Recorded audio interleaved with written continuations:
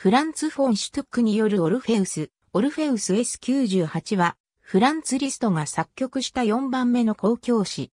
この公共詩は1853年から1854年にかけてグルックのオペラ、オルフェオとエウリディーチェの序の音楽として作曲された。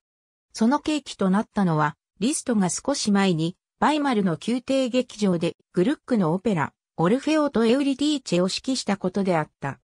そのためリストはオルフェウスに関することをいろいろと調べたが、この時リストの脳裏に浮かんだものに、ルーブル美術館で見たエトルリアの壺があった。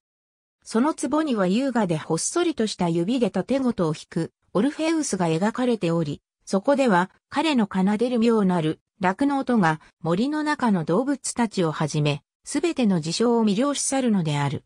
リストはこの壺からの霊感でこの公共詩を書き、このような権威を楽譜の冒頭に記したという。初演はオペラへの序曲の形として、1854年の2月16日に、リストは、バイマルの宮廷劇場で、リスト自身の指揮で行われたが、後に独立した公共詩として出版された。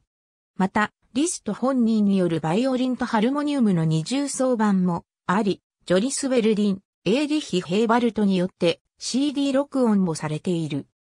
ピッコロ、フルートに、オーボエに、コーラングレ、クラリネットに、ファゴットに、ホルン4、トランペットに、トロンボーン3、チューバ、ティンパに、ハープに、言語部冒頭に出る素朴な旋律が全曲のモットーをなすもので、ついでチェロで奏される第一主題の高貴な美しさは、オルフェウスの高雅な姿を思わせる。他に二つの主題を用いて全曲が進められ、最後は崇高な剣のパッセージが小玉のような木管の和音を伴って瞑想的で詩的な雰囲気の中に曲を結んでいる。演奏時間は約10分。ありがとうございます。